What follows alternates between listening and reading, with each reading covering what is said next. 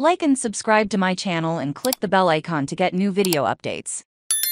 When the March Madness begins, it's time for women to gamble for the money. March Madness has arrived with visions of Cinderella teams dancing in the minds of athletic directors. Survive and thrive, they say, and the conference proceeds will flow. For schools and basketball-centric conferences, they make their money. But for women basketball teams have different expectations that are buried deep in the NCAA culture.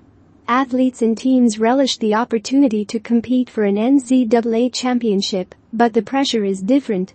Unlike men, there are no financial expectations entire Division I conferences have been built around creating depth and success in the men's basketball tournament as one president told me, all the decisions we make are designed around that.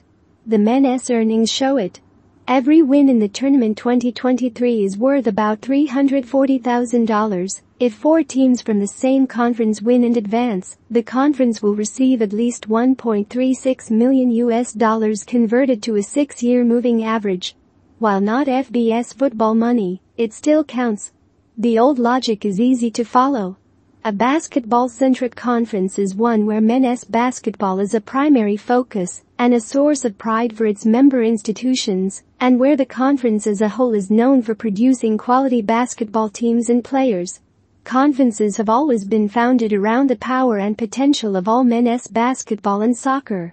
It's about time this evolved.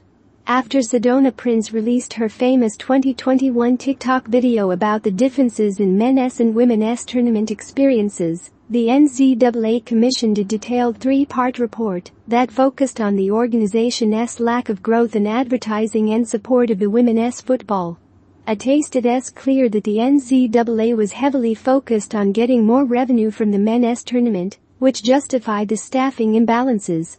Knight Commission CEO Amy Perko said they were told the NCAA's Transformation Committee would address equity issues in its final report, but only acknowledged that the